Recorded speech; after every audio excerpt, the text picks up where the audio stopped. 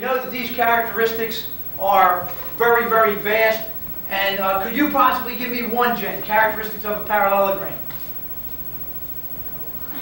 Beautiful. Help us out, Amy. What would be another characteristic? At this time, the teachers and students on the second floor should come down to the assembly. Happy, and we're going to get out of here. Come on, file out, file out. Wow, Sheila, this is going to be great. I know. I just can't wait. Neither can I.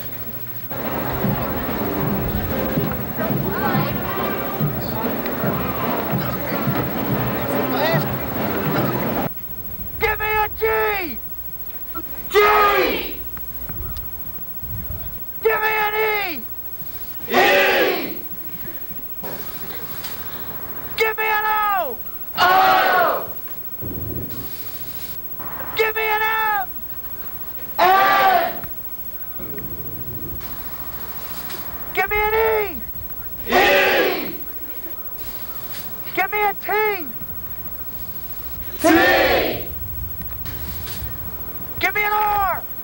R! Give me a Y! Y! What's that spell? Geometry! April is Math Education Month! Yeah!